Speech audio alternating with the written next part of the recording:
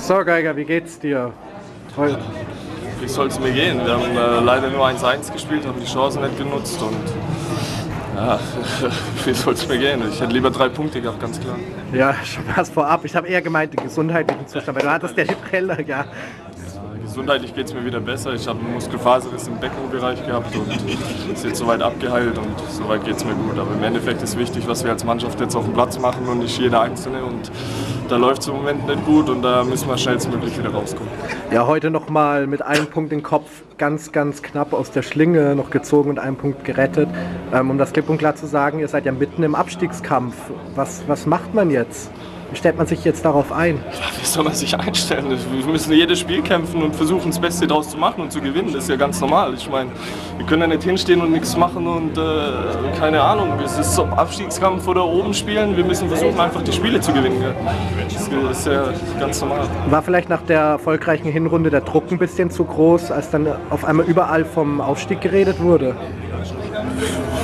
Keine Ahnung, ich denke nicht, dass der Druck unbedingt zu groß war, aber wir sind schlecht in die Rückrunde gestartet und dann äh, gibt es natürlich nicht gerade viel Selbstvertrauen und das sieht man dann auch und ich denke, wir haben trotzdem heute versucht, das Spiel zu drehen, was phasenweise vom Spiel okay war und phasenweise nicht, aber wir müssen uns versuchen zu verbessern und äh, ja, jetzt schauen wir aufs nächste Spiel und äh, wollen auch punkten, weil wir brauchen dann nicht mit Angst nach Elversberg fahren, weil das bringt eh nichts.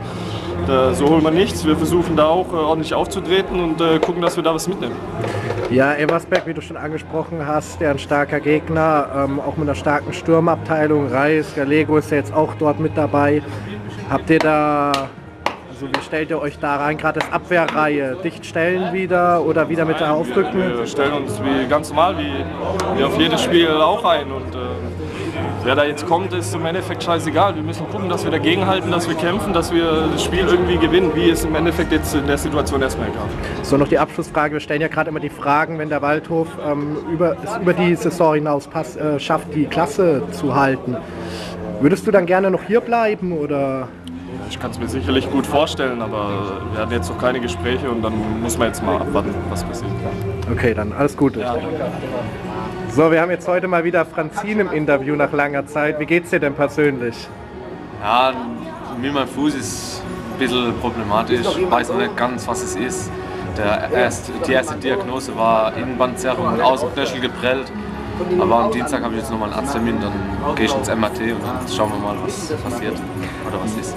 Ja, du machst ja zurzeit noch eine Ausbildung, wenn ich das äh, richtig verstanden habe. Nee, ich mache nichts mehr. Nichts mehr. Nee. Ähm, liegt da vielleicht das daran, wegen, äh, man munkelt ja im Umfeld, äh, Tuchel wäre öfters wieder, man hat ihn schon gesehen und Mainz wäre an dich dran, an, an, dir dran. Kannst du was dazu sagen? Ich kann dazu sagen, dass, also, dass ich es das auch schon mitbekommen habe, aber mit Gespräch oder irgendwas habe ich nicht. Ich habe bis 2014 einen Vertrag hier beim Waldhof und ja, zurzeit ist noch nichts. Ja, du warst ja gegen äh, den KSC auf dem Platz. Ja. Wie war es denn so für dich, vor so einer Kulisse zu spielen? Ja, die, die Kulisse war richtig geil. Also Traum von jedem Fußballer, vor so vielen Zuschauern zu spielen. Und man kennt ja von den Waldhof-Fans, dass die auch generell geile Fans sind. Und die haben uns da gut unterstützt und ja, schade, dass wir verloren haben. Würdest du es dann vorziehen, wenn dann wirklich jemand anfragen würde, dass du dann auch mal öfters vor so Kulissen äh, spielen würdest, sprich zweite Liga, dritte Liga oder doch lieber bei uns bleiben? Ja, ich, ich bin immer noch Mabu.